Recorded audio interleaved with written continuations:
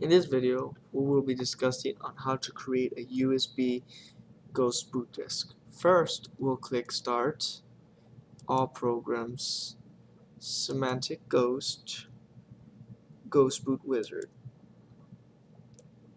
Most new machines require you use PC-DOS.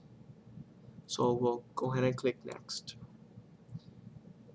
In this image type, we'll go ahead and select Network Boot Package because we're going to be going over a network. We click Next.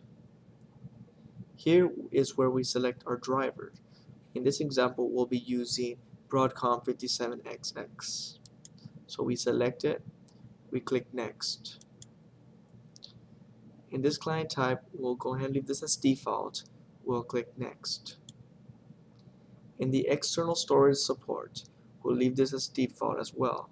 So we'll click Next. Here in the network settings, we'll leave this default. So we click Next. Here in the destination drive, we will select USB disk. And under that is the available devices, which we see the Ultra USB 2.0, which is the flash drive that we're going to be used to reimage. So we click Next. Here in the additional files, we'll leave this as default and we'll click Next. Here in the review, we'll just review on what we have set up for this whole device.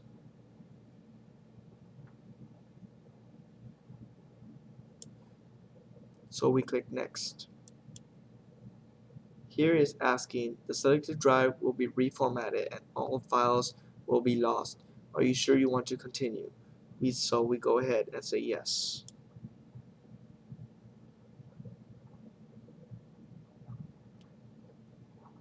So we just click finish and that's it.